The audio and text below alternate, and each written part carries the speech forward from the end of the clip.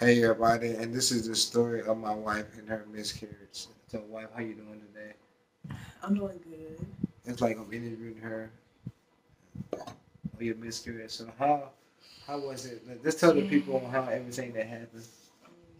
Well, uh, I recently found out that I was pregnant, and um, I went for my first ultrasound December 15th, and um,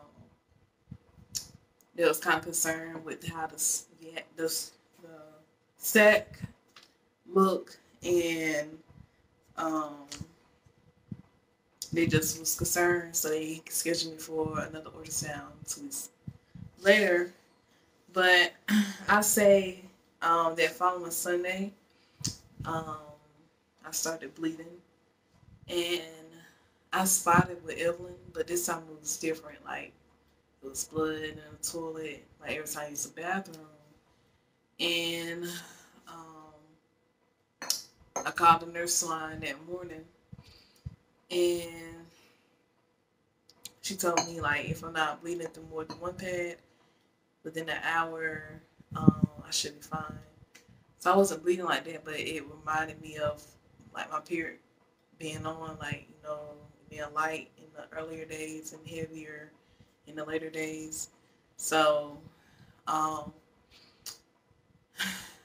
that following Saturday came and I went to the emergency room because I just want to see like, okay, why am I bleeding?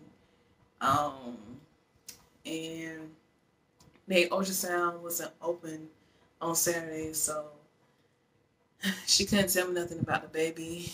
Only thing she could do was check up on me and you know make sure that I was good.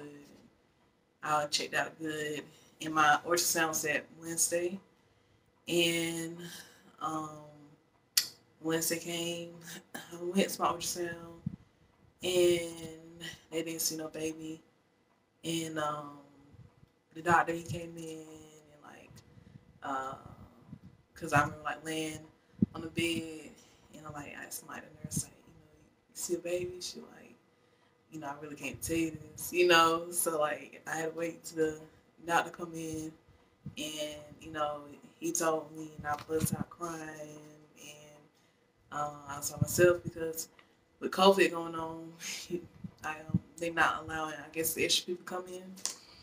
So it, it was a lot. And I just remember, like, in our, like, they wanted to do some blood tests on me afterwards. And I just remember, like, just crying, crying. And um, usually when you get your ultrasound, like you will go to the front desk and make an appointment for, you know, your next one. And like, um, like the lady was taking my blood, she was just like, you know, like you ain't gotta worry about stopping nothing. Um, I'll walk you the door.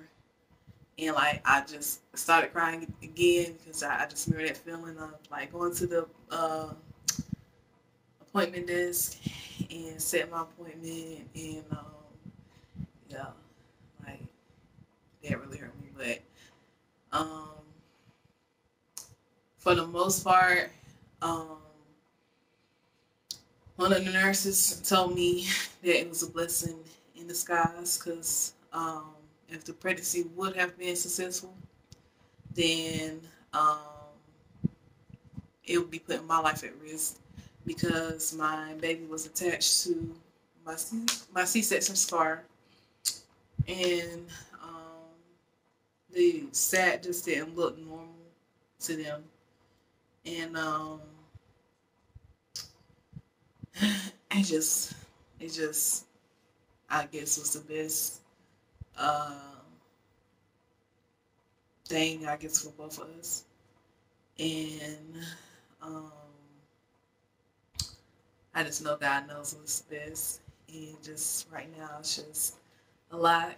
We're having two kids and working and take care of a home and being married and everything. It's like it's a lot. So um, I just wanted to share my story just for anyone else who has went through this.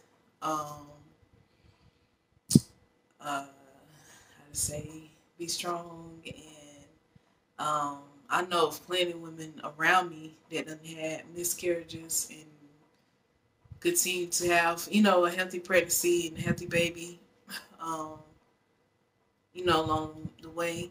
So it doesn't stop you from having kids, but it's just, I feel like uh, God's way of saying that it's not time. And, um, yeah, this was a eye opener to me too. So, uh, I'm now, you know, on birth control. Um, it just made me be more serious. I'm like, wow, kids are a big responsibility, and um, it's a lot having kids. So, um, a good came out of the situation.